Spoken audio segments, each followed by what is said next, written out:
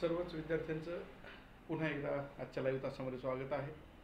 स्पर्धा परीक्षा गणित बुद्धिमत्ता या विषयावरती आपण तासांच्या काही मालिका आता सुरू केलेल्या आहेत.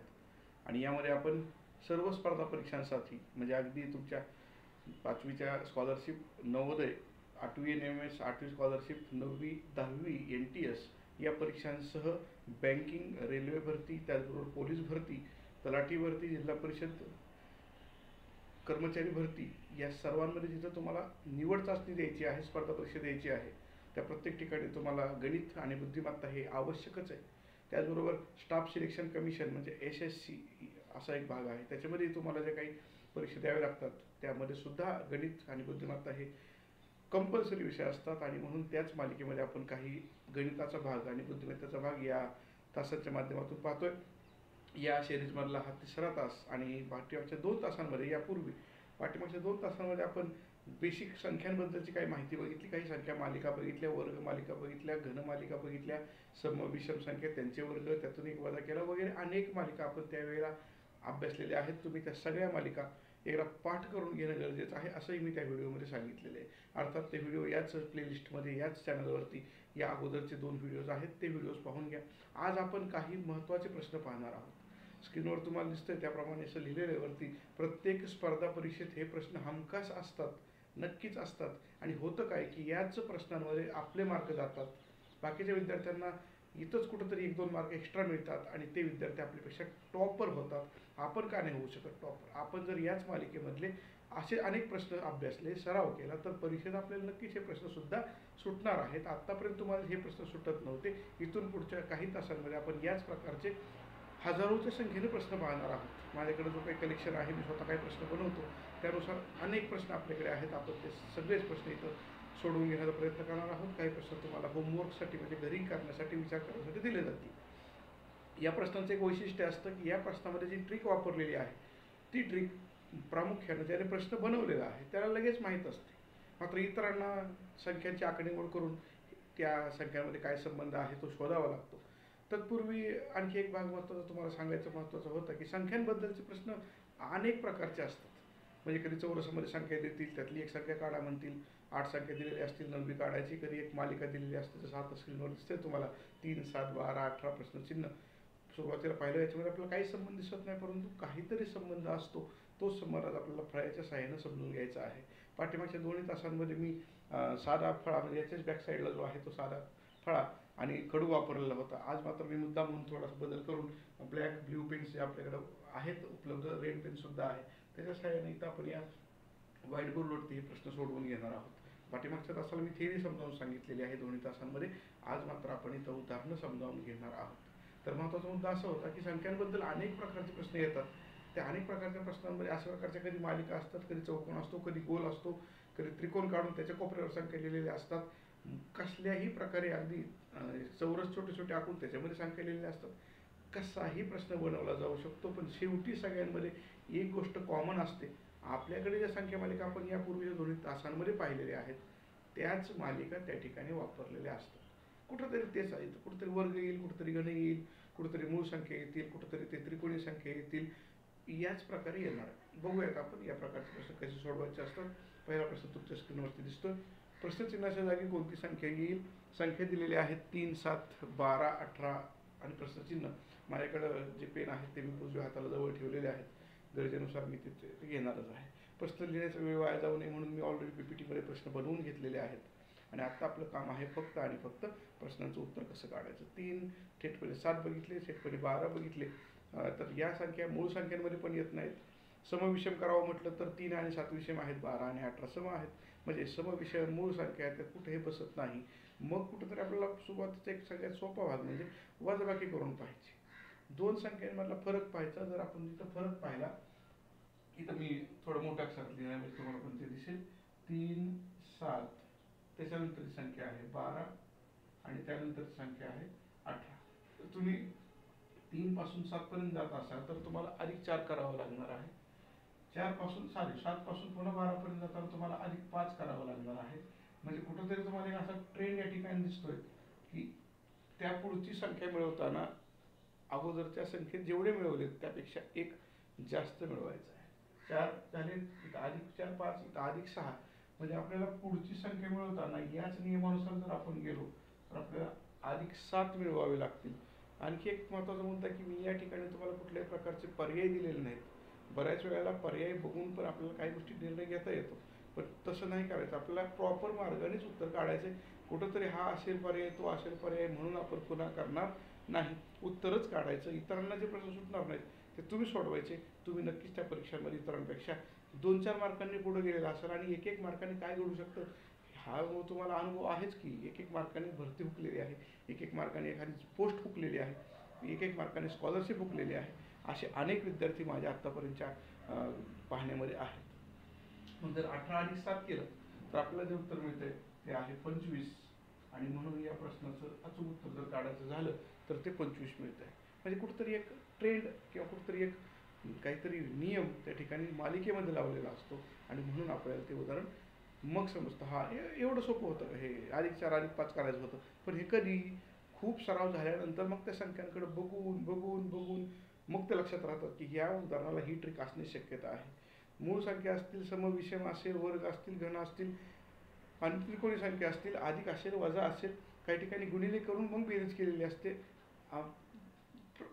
प्रचंड प्रकार आहेत या संख्यांच्या उदाहरणांमध्ये. असतील आपल्याला काय आपल्याला त्या संख्यांशी फॅमिलियर व्हायचे कशाही संख्या आल्या तरी आपल्याला काहीच त्याची भीती नको वाटायला असं आपल्याला थोडंसं पुढे जायचं चला ठीक आहे एक प्रश्न तर या ठिकाणी आपण तो पहिला पूर्ण करून घेतलेला आहे. दुसऱ्या प्रश्नाकडे जाऊया. दुसरा प्रश्न मला त्या स्क्रीनकडे जाऊन पुन्हा पी पी टी जी पुढची आहे ती घ्यावी लागते. म्हणून मी एक प्रत्येक प्रश्न झाला की थोडं पुढे जाऊन ते क्लिकचं बटन दाबणार जेणेकरून प्रेझेंटेशन जे चालू आहे म्हणजे फळ्याच्या पाठीमागं पी पी टीवरती आणि हा माझा वेगळा प्रयोग आहे. म्हणजे फळा पण मी वापरतो आणि पी पी टी पण वापरतो.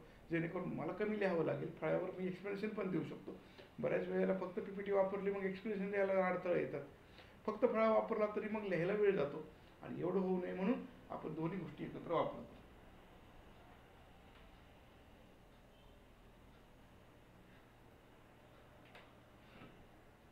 पुढचा प्रश्न तुमच्या स्क्रीनवरती दुसरा जो दिसतोय तो आहे.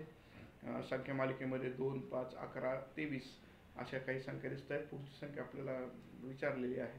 नेमकं काय करायचं तर सकाळी उठल्यानंतर माझे नेहमीप्रमाणे तास रेकॉर्डिंग असतात.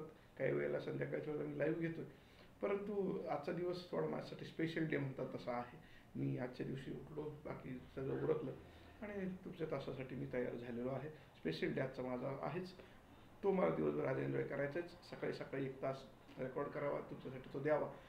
या भावनेतून मी हा तास लगेच सकाळीच रेकॉर्ड करतो आहे. तुम्ही तो दुपारी पाहू शकता संध्याकाळी पाहू शकता. चॅनलवरती यापूर्वीचे तास पण आहेत ते पण पाहून घ्या.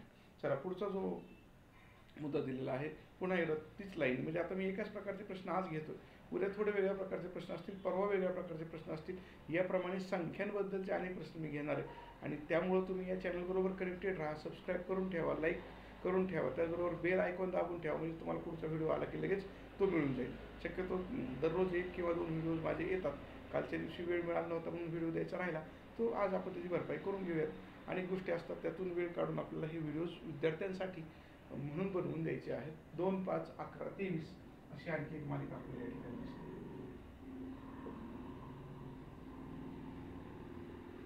आणि मग इथं काय आहे? असा प्रश्न विचारलेला आहे. आता यासाठी जर पुन्हा आपण बघितलं तर दोन पाच अकरा तेवीस इथंसुद्धा समविषमचा काही नियम आपण लावू शकू शकत नाही. पण पुढं जर बघितलं म्हणजे आपल्याला संख्या पाहिजे. वेगळा घटक ओळखा म्हणून सांगितलेलं नाहीच आहे मुळात. मग इथं हे जे काही या दोघांमध्ये रिलेशन आहे इथून पुढे जाताना तेच तर आपल्याला पाहिजे. नेमकं काय फरक पडलाय दोघांमध्ये?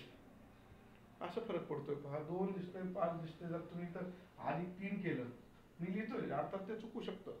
वेगवेगळ्या प्रकारे विचार करण्यासाठी ते चुकणार आहे पुन्हा इथं तुम्ही पुढे गेला तर तुम्हाला इथं अधिक सहा द्यावं लागते. म्हणजे दोन आणि तीन झाले पाच पाच आणि सहा झाले अकरा. अकरा आणि बारा जर मिळवले तर तेवीस येणार आहे. हा ट्रेंड जर तुमच्या लक्षात आला असला तीन वाढवले इथं सहा वाढवले इथं बारा वाढवले तर मग तुम्ही विचार पुढे करू शकता की इथं मला किती वाढवलं गरजेचं आहे? प्रत्येक वेळेला दुप्पट होत चाललेली आहे. तीनशे दुप्पट झाली सहा सहाशे दुप्पट बारा बाराशे दुप्पट चोवीस. म्हणजे इथं आपल्याला तेवीसमध्ये चोवीस वाढवायचे याचा अर्थ इथं उत्तर येणार आहे सत्तेचाळीस. निवडलेले हे सगळे प्रश्न यापूर्वीच्या परीक्षांमध्ये तरी आलेले असतील किंवा काही प्रश्न माझ्या डोक्यातून तयार होऊन आलेले असतील काही प्रश्न पुढच्या येणाऱ्या स्पर्धा परीक्षांमध्ये सुद्धा येणारे असतील काहीही घडू शकतं. त्यामुळे प्रत्येक प्रश्न आपल्यासाठी तेवढाच महत्त्वाचा आहे. हे एका पद्धतीने आपण काढलं. तीन वाढवले सहा वाढवले बारा वाढवले म्हणून चोवीस वाढवले. हा एक प्रकार. याशिवाय काही विद्यार्थ्यांचे डोकं असंही चालू शकतं. मुद्दाम मी हे थोडं पुसतो आणि पुन्हा एकदा विचार करून सांगतो वेगळा विचार कसा करता येऊ शकतो? वेगळा विचार. अगोदरच्या संख्येपेक्षा नंतरची संख्या कशी मिळवली याचा विचार करूयात. आपण दोन मध्ये आणि पाच मध्ये काय रिलेशन आहे? तर असं करता येऊ शकतं. दोन गुणिले दोन आणि अधिक एक. म्हणजे काय? आधीच्या संख्येची दुप्पट करून तर एक मिळवलं आहे बेदोन चार आणि एक पाच म्हणजे पाच मिळाला. परत पुढे जर विचार केला तर पाच दुने दहा अधिक एक अकरा. म्हणजे अगोदरची संख्या इथं मी सूत्र घेतो आता. गुणिले दोन आणि आलेल्या गुणाकारात किती मिळवायचा आहे? एक मिळवायचा आहे. तर आपल्याला काय मिळणार आहे? पुढची संख्या किंवा नंतरची संख्या मिळणार आहे. पुढची संख्या नंतर संख्या मिळवण्यासाठी त्या संख्येच्या अगोदरच्या संख्येला दोनने गुणा दुप्पट करा आणि त्याच्यामध्ये एक मिळवा. असं जर तुम्ही पुढं करत गेलात तरी तुम्हाला तेवीस गुणिले दोन शेहेचाळीस आणि अधिक एक म्हणजे उत्तर किती मिळतंय बरोबर? सत्तेचाळीस. म्हणजे अशा प्रकारे एकच प्रश्न आपण दोन मार्गांनी सुद्धा सोडवू शकतो. मग आपण तीन सहा बारा चोवीस असं केलं. आता आपण केलं ते दुप्पट अधिक एक.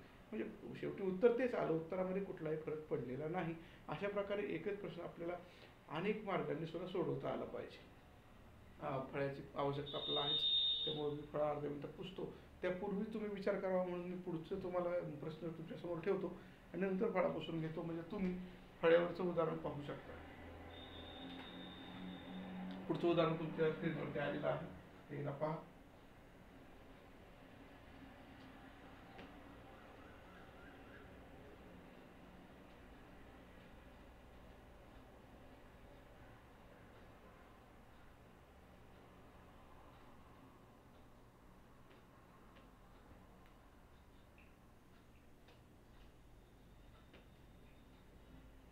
या प्रकारे हे उदाहरण आणखी एक दिलेलं उदाहरण आहे. पाच डायरेक्ट एकोणीस घेतलेत. डायरेक्ट एकसष्ट आणि डायरेक्ट एकशे सत्त्याऐंशी पहिल्या मोठ्या संख्या दिलेल्या आहेत. इथंसुद्धा आपल्याला पाठीमागच्या उदाहरणातलीच एक ट्रिक वापरायची आहे. जी उदाहरण नंबर दोनमध्ये आपण वापरली उदाहरण नंबर दोनमध्ये आपण काय केलं होतं? पहा दुप्पट केलं होतं. म्हणजे गुणिले दोन केलं होतं. आता या उदाहरणामध्ये पाच आणि एकोणीस जर पाच लाख पाच लाख कितीने गुणावं लागेल? म्हणजे आपल्याला एकोणीसच्या अगोदरची संख्या मिळेल. पासून जर हिशोब करत आपण गेलो तर मी ट्रिक सांगितली तुम्हाला. पाठीमागच्या तुम्ही साईड बाय साईड विचार चालू ठेवा.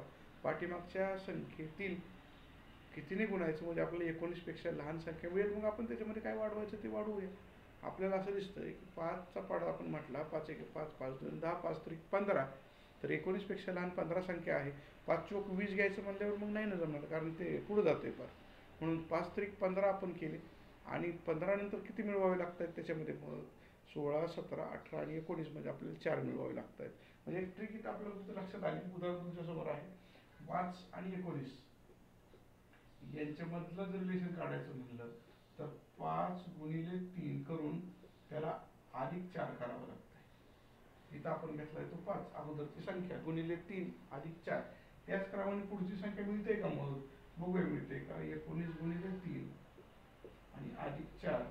म्हणजे एकोणीस गुणिले तीन केलं. तर ते आपोआपच मिळणार आहे. सत्तावन्न.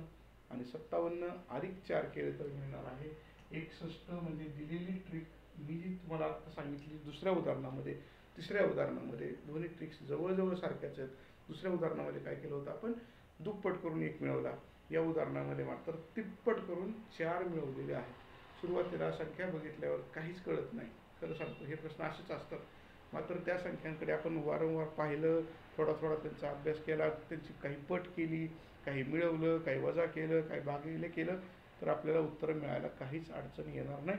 थोडासा विचार करणं गरजेचं आहे. विचार केल्याशिवाय उत्तर मिळत नाही आणि इथंच फरक पडतो. म्हणजे आपल्या मार्कांमध्ये इतर इतर मार्कामध्ये हा चार मार्काचा फरक का पडला? कारण ते चार मार्क त्यांनी वस्तू विचार करून सोडवले. आपण मात्र ढगात गोळ्या मारल्या होत्या. ए बी सी डी एक दोन तीन चार चारपैकी कुठलं तरी एक पर्याय आपण दिला टाकून.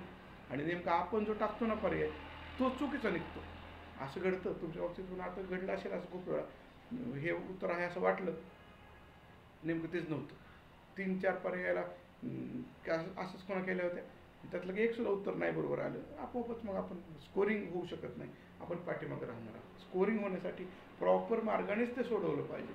आणि तो प्रॉपर मार्ग आपल्याला या चॅनलच्या माध्यमातून सांगण्याचा माझा प्रयत्न चालू आहे. ओके याप्रमाणे जर आपण पुढे गेलो उत्तर तुम्ही काढू शकता. मी उत्तर काढून दिलेलं नाही. तुम्ही ते काढायचे. एकशे सत्याऐंशी त्यातली आपल्याला आकडा दिसतो शेवटचा. एकशे सत्याऐंशी गुणिले तीन करा. आणि जी काही गुणाकार येणार आहेत त्यात चार वाढवा. उत्तर तुम्हाला मिळून जाईल. उत्तर मी दिलेलं नाही. मुद्दा मुद्दे लिहिलेलं नाही. तुम्ही थोडंसं कॅल्क्युलेशन करणं गरजेचं आहे. मी फक्त ट्रिक तुम्हाला सांगणार आहे. पुढचं उदाहरण. आणखी एका उदाहरणामध्ये पुढं काहीतरी वेगळा बदल दिसतोय. विचार करा. काय चौदा अठरा दिसतं इथं लिहिलेलं? उदाहरण लिहिण्याची आवश्यकता मला फारशी नसते कारण मी स्क्रीनवरती ते उदाहरण तुम्हाला पीपीटीच्या माध्यमातून ऑलरेडी दाखवलेलं असतं. प्रश्नचिन्ह जागी कोणती संख्या येईल? चौदा अठरा सव्वीस अडतीस. आता जर विचार केला आपण साधा तर चौदा अधिक आता सुरुवातीला सगळेजण हाच विचार करतात. आपण त्याच्यात किती कितीने वाढली संख्या ती बघूया. पण नुसतं संख्या वाढली हे पाचवीला असतं. तुम्ही मोठ्या परीक्षेत येत आहे म्हणजे तिथं काहीतरी थोडंसं वेगळं असणार आहे ना? नुसतंच अधिक आणि वजाचं उदाहरण नसणार आहेत ती. त्यात अजून काहीतरी मिक्सिंग केलं. म्हणजे प्रश्न काढणारा व्यक्ती. आज मीही प्रश्न तयार करतो काही ठिकाणी. प्रश्न काढणारा व्यक्ती त्याच्या डोक्याला वाटेल तसा प्रश्न बनवू शकतो आणि आपल्या डोक्याला ताप करून ठेवतो. असू द्या मीही प्रश्न काढतोच. त्यामुळे फार टेन्शन घ्यायचं कारण नाही. मात्र आपण त्या दिशेने जर विचार केला की प्रश्न कसे कसे निघू शकतात तर असंख्य मार्गाने प्रश्न निघतात. म्हणून आपणही उत्तर विचार करताना असंख्य मार्गानेच त्याचं उत्तर काढायचा प्रयत्न करायचा. चौदा अठरा सव्वीस जर आपण थेटपणे गेलो तर पहिला फरक चारचा आहे. चौदा अधिक चार बरोबर अठरा. पुन्हा अठरा अधिक आठ बरोबर सव्वीस. काही विद्यार्थ्यांना वाटतं हा चार दिसतंय आठ दिसतंय म्हणजे काहीतरी ट्रेंड मिळाला. ते जातात सव्वीस अधिक अडतीस करायला. तिथं बाराचा फरक दिसतो हो त्यांना असं वाटतं की मग आता अशा प्रकारे जाता येईल पुढं. ठीक आहे तसंही जाता येतं. वेगळा एक मार्ग आहे तो मी तुम्हाला या उदाहरणासाठी सांगतो पहिला आहे ते चौदा. दुसरा आहे ते अठरा. त्याच्यानंतर आहे सव्वीस. तर याच मार्गाने आपण गेलो याच क्रमाने गेलो. आता इथं दोन प्रकारे सुटता येते. बघूया कसं होतं. इथून काय होणार आहे? अधिकच्या इथं गेलो अधिक आठ. इथं इथं गेलो तर अधिक बारा. छोट्या अक्षर मी मुद्दाम खाली काढलेले आहे. त्याप्रमाणे तुम्हाला संख्या मिळणारच आहे. हे पुढे जाऊन अधिक चोवीस केलं तुम्ही. म्हणजे चार आठ बारा चोवीस ते मागाशी उदाहरण होतं बघा. तसंच हे उदाहरण आहे. कोणतं? ते तीन सहा बारा चोवीसचा फरक. तसंच इथं पण आहे. चार आठ त्यानंतर बारा. त्यानंतर चोवीस कसं? हा प्रश्न पुन्हा पडू शकतो तुम्हाला? म्हणजे इथं तुम्हाला जे मिळाले की तुमच्या उदाहरणात मी लिहिलेलं नव्हतं इथं. सव्वीसच्या पुढं अडतीस आणि त्याच्या पुढं बासष्ट. म्हणजे इथं पुन्हा प्रश्न असा पडतो. चार आठ बारा आणि चोवीस. ही चोवीस अचानक का घेतली? चार जुने आठ ठीक होतं मग आठ जुने सोळा का नाही वाढवलं? म्हणजे ही जी ट्रिक आपली मागाशी होती वापरलेली ती इथं काही लागू होऊ शकणार नाही. कारण योग्य ट्रेंड दिसत नाही इथं आपल्याला. जो ट्रेंड आवश्यक आहे एक समानता पाहिजे तिथं लिहिलेली ती कुठं दिसत नाही. म्हणून याला आपण ही ट्रेंड सोडून देऊयात नाही उपयोग. पुन्हा विचार करूयात चौदा आणि अठरा याच्यामध्ये चारचा फरक आहे. आणि आपल्याला चार कसे मिळू शकतं? चार या दोघांपासून चार मिळण्याची एक शक्यता आहे की? बेरीज करून पाच मिळेल चार नाही मिळणार. काय करू मग आपण त्यासाठी एक आणि चार यांचा गुणाकार करून बघूया. म्हणजे असं लिहितं इथं चौदा अधिक एक गुणिले चार. आता बघा काय त्या उदाहरणाचं हे उत्तरच आहे. अर्थात उत्तरं जर माहीत असतील ना तर हे प्रश्न फारच सोपे आहेत. पण उत्तर जर माहिती नसेल तर सुरुवात करून उत्तर मिळवणं अवघड काम आहे. त्यामुळं जास्तीत जास्त उदाहरणं आपण अगोदरच माहिती करून घेतली समजावून घेतली डोक्यामध्ये ठेवली तर परीक्षेतली उदाहरणं तशा प्रकारची पण येतात. पण त्या सगळ्या ट्रिक आपण तिथं लावतो आणि मग आपल्याला ती उदाहरणं सुटतात. म्हणून इथं मी सांगतो तुम्हाला जास्तीत जास्त उदाहरणं चॅनलच्या माध्यमातून आपण देणार आहोत. चौदा अधिक या दोघांचा गुणाकार घेतला एकचा आणि चारचा. अंकाचा वाकार घेतलाय. बरोबर आपल्याला काय मिळते इकडून आपण खाली आलो इकडून आपला अठरा मिळाला परत इकडून खाली येऊ अठरा अधिक एक गुणिले आठ. म्हणजे पुन्हा आपण आलो काय झालं? आठ एक आठ अठरा आणि आठ सव्वीस मिळाली. पुन्हा आपल्याला सव्वीस मिळाला. पुन्हा खाली येऊ सव्वीस अधिक. आता मात्र दोन गुणिले सहा करावं लागेल. दोन गुणिले सहा का करायचं? कारण इथं आपण एक गुणिले चार केलं इथं एक गुणिले आठ केलं इथं दोन गुणिले सहा म्हणजे बारा. सव्वीस आणि बारा आता कळलं का? बारा का मिळवले? त्याचं कारण आहे दिलेल्या दोन अंकांचा गुणाकारच मिळवायचा आहे. म्हणजे इथं पुन्हा आला अडतीस. सव्वीस अधिक बारा म्हणजे अडोतीस. आता अडोतीसपासून बासष्ट मिळवण्यासाठी अडोतीस अधिक तीन गुणिले आठ. आणि म्हणून चोवीस मिळवले अडोतीसमध्ये. तेव्हा बासष्ट तयार झाले. इथं चार इथं आठ इथं बारा आणि इथं चोवीस का आलं? तर ते जे अंक होते त्या अंकांचा गुणाकार आपण तिथं मिळवला आहे म्हणजे आता आपोआपच तुम्हाला बासष्टमध्ये किती मिळवावे लागणार आहेत? सहा गुणिले दोन म्हणजे बारा मिळवावं लागणार आहेत बासष्ट अधिक बारा जर केलं आपण sixty two plus twelve it is equal to seventy four चौऱ्याहत्तर. हा आकडा आपल्याला मिळतो. म्हणजे या पद्धतीने आपल्याला आकडे मिळत जातात. सेवन्टी फोर हे उत्तर या ठिकाणी आपल्याला मिळालेले आहे. काही उदाहरणं आपण प्रत्येक तासामध्ये घेतो. अगदी थोडी जरी उदाहरणं झाली तरी काही फार हरकत नाही. मी थोडंसं स्क्रीनकडे एकदा पाहतो. स्क्रीनवरती जे काय आपलं टायपिंग असतं ते थोडंसं पुरेसं झालेलं आहे. अजून काही उदाहरणं आहेत मी लगेच पुढच्या तासामध्ये तुम्हाला ते देणारच आहे. या तासापुरतं मी आता थांबतोय परंतु तुम्ही कुठे जाऊ नका थांबू नका. आपल्याकडे पुढं पुढं जाऊन जे आपल्याला आणखी उदाहरणं बघायची त्याचे व्हिडिओज तुम्हाला याच्या पुढेही लगेच मिळणार आहेत. पूर्वीचे व्हिडिओज पण पहा. यानंतरचे व्हिडिओज पण पहा ते येतच राहणार आहेत आणि चॅनलच्या माध्यमातून अभ्यास करत राहा. यश तुमची वाट बघते कुठली तरी पोस्ट तुमची वाट बघते कुठली तरी स्कॉलरशिप तुमची वाट बघते नक्की तुमचं सिलेक्शन होणार आहे. मात्र तुम्ही बेसिक अभ्यास करणं फार गरजेचं आहे. काही विद्यार्थी म्हणतात आहे मला बेसिकची गरज नाही मी ट्रिक्स वापरतो. अरे पण ट्रिक्स येण्यासाठी अगोदर बेसिक तर आलं पाहिजे. त्या कल्पना तर समजले पाहिजेत. लसावी म्हणजे काय मसावी म्हणजे काय मूळ कल्पनाच माहिती नाही. आणि ट्रिक वापरायला निघालाय. उपयोग होणार नाही त्यामुळे. तिकडे जाऊ नका. आधी बेसिक समजून घ्या. बेसिक यायला तुम्हाला पक्क यायला लागली की मग तुम्ही ट्रिक वापरा. काही हरकत नाही. ट्रिक नक्की वापरा परंतु ट्रिक वापरण्यापूर्वी बेसिक पक्क करून घ्या. गणित विज्ञान या विषयांचं बेसिक माहिती असल्याशिवाय तुम्ही पुढं ट्रिक वापरूच शकत नाही असं माझं स्पष्ट म्हणणं आहे. गेली अनेक वर्ष झालं मी याच विषयांमध्ये आहे. संपूर्ण महाराष्ट्रामध्ये आपल्या या चॅनलच्या माध्यमातून अनेक विद्यार्थ्यांनी गेल्या दो कोरोनाच्या कालावधीमध्ये सुद्धा अभ्यास केलेला आहे. आणि त्यामुळं खात्रीनं मी सांगतो की बेसिक फार गरजेचं आहे. बेसिक शिवाय तुम्ही पुढे जाऊ शकत नाही. आजच्या फक्त हा तास मी आत्ता बंद करतो लगेच पुढचा तासही मला पुढं रेकॉर्ड करायचा आहे पुन्हा लगेच भेटूयात. चौथ्या तासामध्ये आजचा तिसरा तास आपण या ठिकाणी थांबवतो धन्यवाद.